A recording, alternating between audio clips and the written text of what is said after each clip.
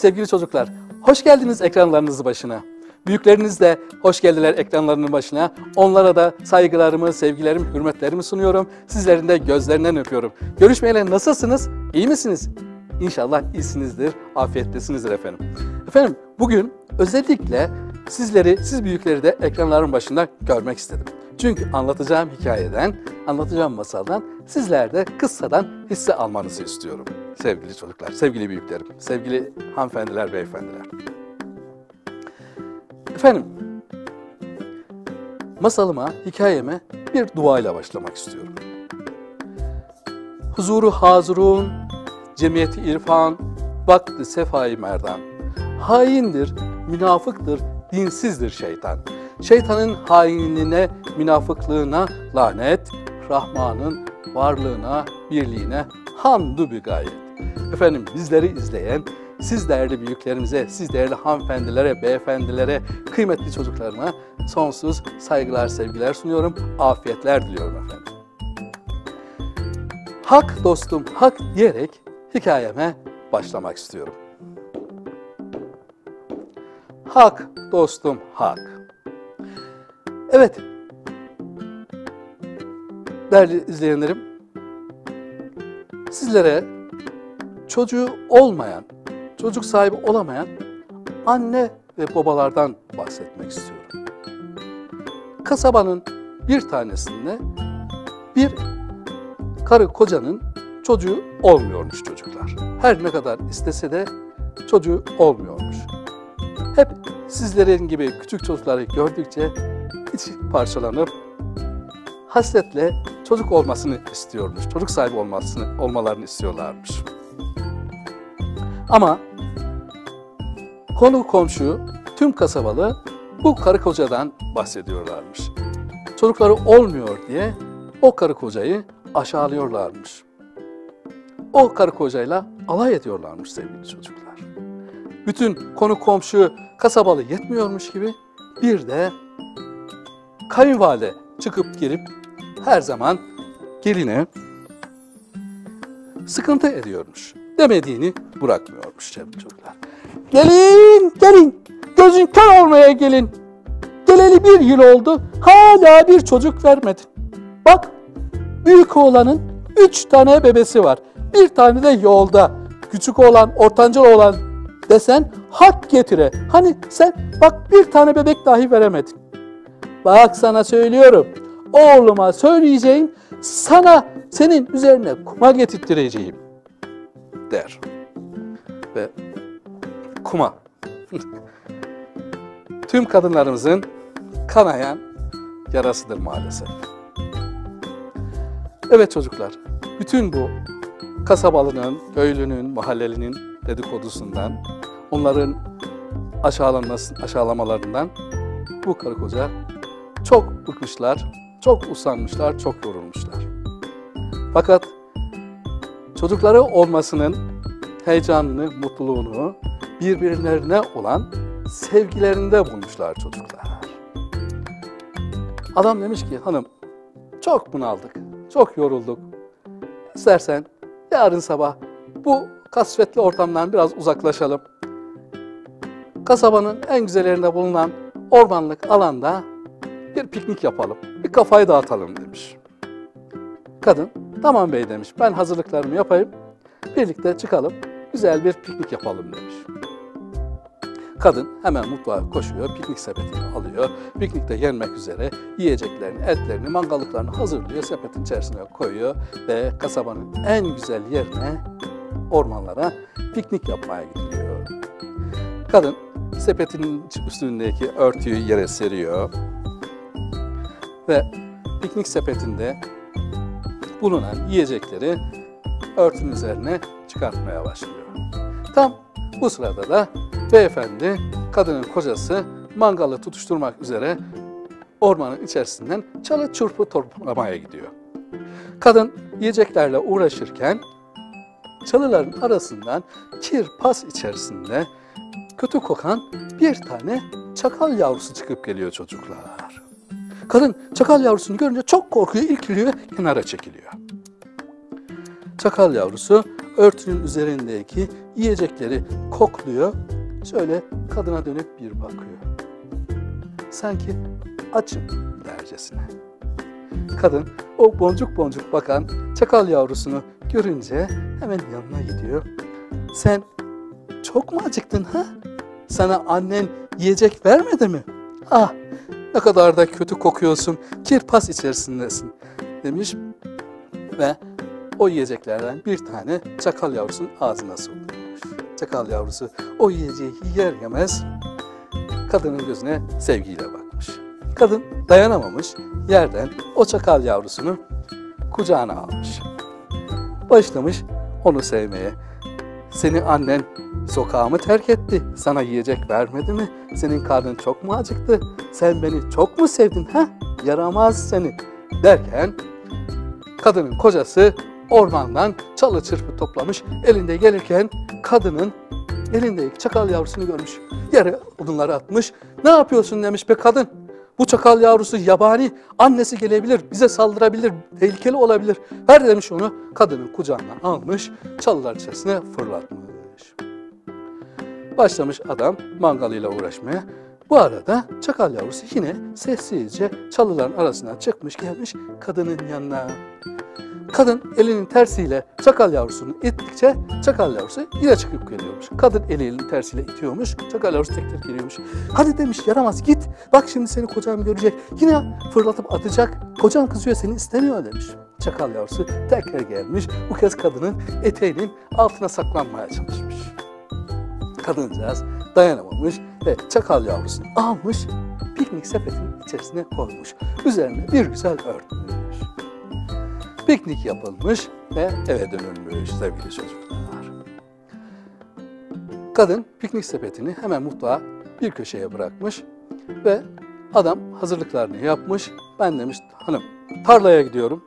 Akşama görüşürüz. Hadi eyvallah demiş. Evden çıkmış. Kadın hemen koşmuş mutfaktaki piknik sepetinin içerisindeki çakal yavrusuna bakmaya. Örtüyü bir atsa ki çakal yavrusu karnı doyduğu için o piknik sepetinin içerisinde mışıl mışıl uyuyormuş. Hemen kadın piknik sepetinin içerisindeki çakal yavrusunu almış, kucağına onu okşayıp sevmeye başlamış. Öf demiş sen ne kadar pis kokuyorsun. Hadi gel demiş seni banyoya götüreyim bir güzel yıkayıp temizleyeyim. Banyoya götürür, çakal yavrusunu bir güzel kokulu sabunlarla, şampuanlarla efendim yıkar, tertemiz eder. Böyle evde yaşayan kedi gibi tertemiz olur çocuklar. Sizlerin de kedisi var mı çocuklar? Ha? Yok mu? Ha, evet. O çakal yavrusuyla evin hanımı gün boyu alt alta üst üste bir anne oğul gibi evin içerisinde şakalaşmaya oynamaya başlamışlar çocuklar. Ama günler günleri kovalamış kadın bir türlü evden dışarı çıkmıyormuş. Komşular merak etmişler. Demişler ki ya bu Mehmet Han'ın hanımı neden demişler hiç sokağa çıkmıyor? Neden hiç gözükmüyor? Başına bir iş mi geldi acaba demişler. Gidelim bir bakalım demişler şu kadıncağıza ne alemde. Hemen konu komşu toplanır. Varırlar kadının kapısını çalmaya. Ama içinden bir tanesi kapıyı çalmadan şuradan demiş pencereden bir bakayım içeriye. Pencereden içeri şöyle bir uzanır bakar. Aa! Kız! Pakize! Bak demiş ya içeriye bak. Kadın çakal yavrusunu yavru edinmiş. Çakal yavrusunu evlat edinmiş. Onunla şakallaşıyor, oynaşıyor demiş. Hani kız hani. Bakayım Huriye. Yukarıdan bir bakıyor pencerenin içeri. Aa! Hakikaten kadın çakal yavrusunu evlat edinmiş. Bu dedikodu bütün kasabaya yayılır çocuklar. Mehmet Ağa köy kahvesine gelir, oturur ve oradan bir tanesi seslenir. Mehmet Ağa nasıl? Çakal yavrusu büyüdü mü? Ha? Ee, çakal yavrusu büyüdüyse sen onu yakında askere de gönderirsin. diye Mehmet Ağa'yla alay etmeye başlamışlar. Mehmet Ağa ne olduğunu ilk anda anlayamamış. yanındaki arkadaşı ya demiş bu adam ne demek istiyor? Mehmet Ağa demiş senin haberin yok mu? Senin karın evde bir çakal yavrusu besliyormuş. Bilmiyor musun sen bunu demiş. Hayır ağam demiş ya. Nereden bileyim? Yok böyle bir şey demiş. Ben evde çakal olsa haberim olmaz mı? İstersen demiş git evde bir bak. Hemen Mehmet Ağa kahveden ayrılmış, soluk sola evine koşmuş gelmiş. Kapıyı bir açsa ki çocuklar, içeride gerçekten hanımı çakal yavrusuyla oynuyor.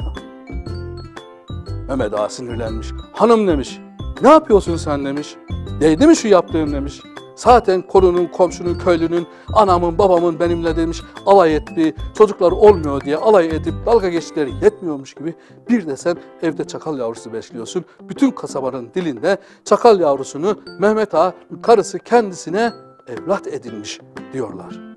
Beni rezil ettiğine değdi mi şimdi demiş.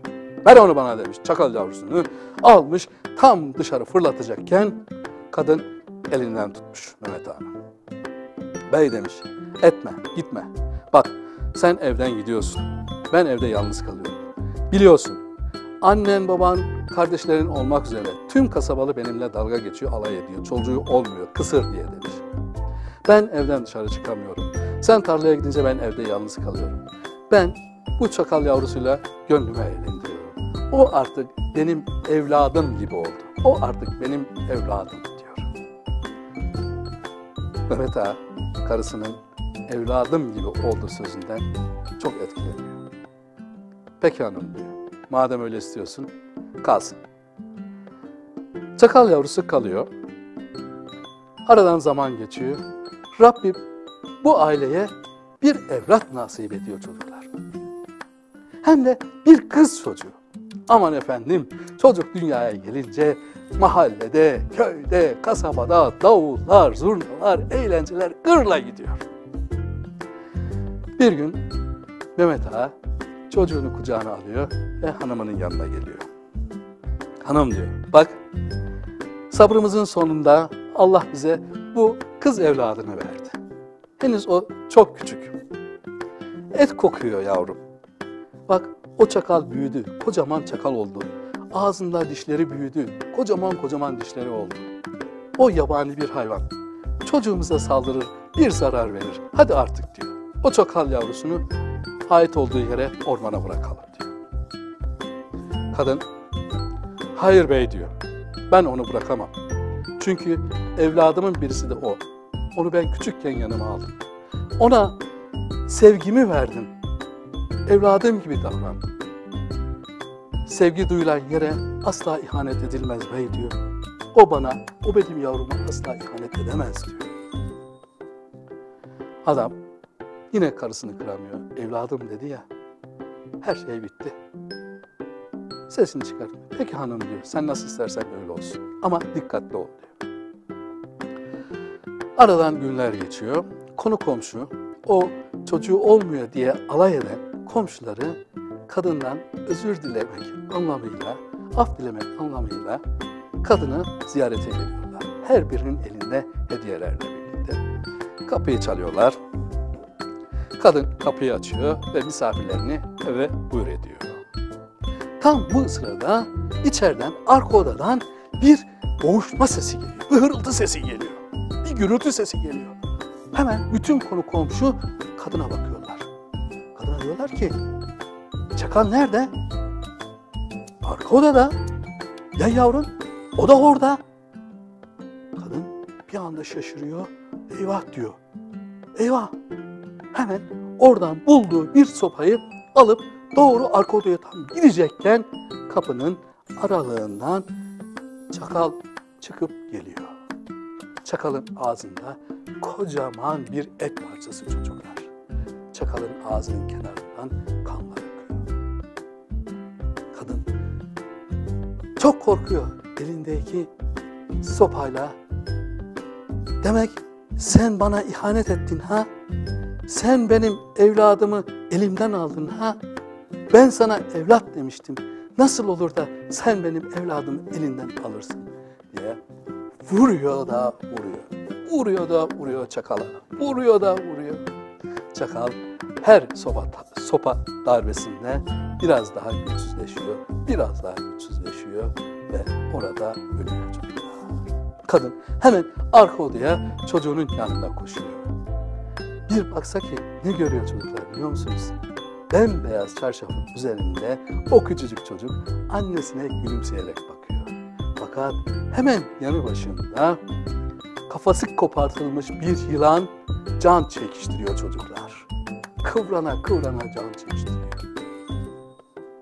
Evet, o çocuğa zarar verecek yılanın kafasını o çocuk yavrum dediği çakal kopartıyor çocuklar. Şimdi o çakal yavrusu ihanet mi etmiş? Hayır. Neden? Çünkü sevgiye karşılık sevgi vermiş çocuklar. Asla sevgiler karşılıksız kalmaz değil mi çocuklar?